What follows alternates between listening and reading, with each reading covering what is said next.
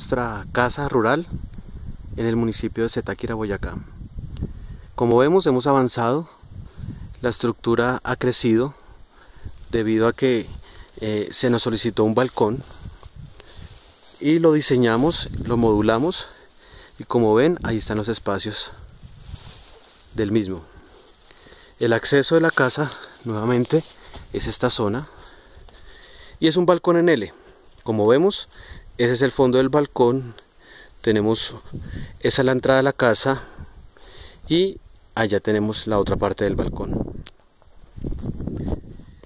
Ya entrando a la casa nuevamente identificamos las zonas. Acá tenemos la sala comedor al fondo la cocina en este costado una habitación en ese otro costado otra habitación y al fondo el baño la parte posterior, detrás de esa división, tendremos nuestro lavadero.